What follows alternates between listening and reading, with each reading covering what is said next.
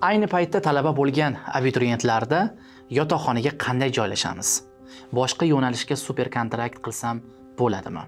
Talaba bo'lolmaganlarda esa super kontrakt narxi qancha bo'larkin degan savollar paydo bo'lyapti. Kun.uz shu kabi savollarga javoblarni to'pladi. Talabalikka qabul qilinganlar eng avval o'zlari topshirgan oliy ta'lim muassasasining rasmiy sahifalarini topib, kuzatib borishlari eng to'g'ri variant. Har bir oliy ta'lim muassasasiga oid eng so'nggi yangiliklar ularning rasmiy sahifalarida berib boriladi. Bundan tashqari super kontrakt asosida talaba bo'lishni rejalashtirayotgan abituriyentlar uchun ham oliy ta'lim muassasasiga oid yangiliklarni kuzatib borish foydali. Birinchi kurslar yotoqxonaga qanday joylashadi? Talabalikka qabul qilinganlar eng birinchi navbatda o'qish boshlanishidan oldin turar joy topish haqida bosh qotiradi. Oliy ta'lim, fan va innovatsiyalar vazirligi ma'lumotiga ko'ra, yaqin orada birinchi kurs talabalaridan yotoqxona uchun onlayn arizalar olish boshlandi. Talabalar davlat oliy ta'lim muassasalarining talabalar turar joyiga joylashish uchun Davlat xizmatlari markazi yoki yagona interaktiv davlat xizmatlari portali my.go.uz orqali elektron ariza yuborishlari mumkin. Agar talabaning arizasi qanoatlantirilmay yotoqxonaga joylasha olmasa ham, unga ijara pullari qoplab beriladi. Birinchi kurslari uchun shartnoma bo'lmasa ham sentyabr-oktyabr oylarining ijara pullari to'lab beriladi. Bunda Toshkent shahrida o'qiyotgan talabalar uchun oyiga 330 ming so'm, viloyatlarda o'qiyotgan talabalar uchun 165 ming so'mdan to'lab beriladi.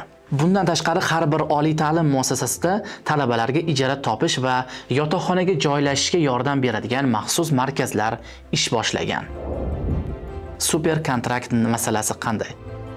Agar abituriyentning bali qabul kvotasidagi balga juda kam yetmay qolgan bo'lsa, kamroq.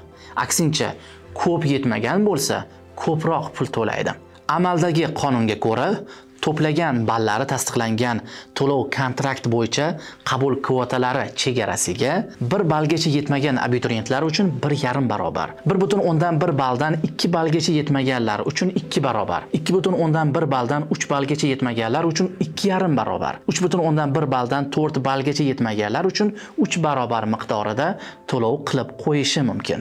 Minimal baldan kam to'plamagan, lekin qabul kvotasiga 4.5 baldan ortiq yetmagan abituriyentlar uchun yo'nalishlarga qarab super kontrakt miqdori bazaviy kontraktning bir necha baravari ko'rinishida belgilanadi. Masalan, o'tgan 2022-yilgi miqdorda pedagogika yo'nalishi uchun belgilangan kontraktning 8 barovari 10% lik chegirma bilan Yurisprudensiya yo'nalishiga esa bazaviy kontraktning 25 baravari etib belgilangan. Ya'ni, agar abituriyent 56.7 balldan ko'p to'plagan, biroq o'tish balliga 4.5 balldan ko'proq yetmay qolgan bo'lsa, unda shunaqa miqdordagi pulni to'lab talaba bo'lish imkoniga ega bo'lgan. Agar abituriyent minimal ballni ham to'play olmagan bo'lsa, unda unga o'z yo'nalishi bo'yicha belgilangan eng yuqori kontrakt miqdorining 2 baravarini to'lab talaba bo'lish huquqi beriladi.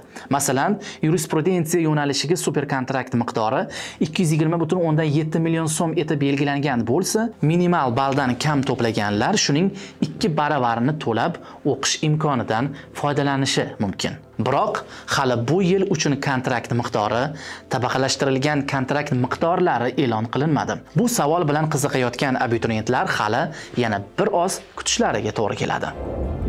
Bir abituriyent o'rniga boshqasi kirsa bo'ladimi? Kvota doirasida talabalikka qabul qilingan, biroq o'qishni xohlamagan abituriyentlarning o'rni bo'sh qoladi.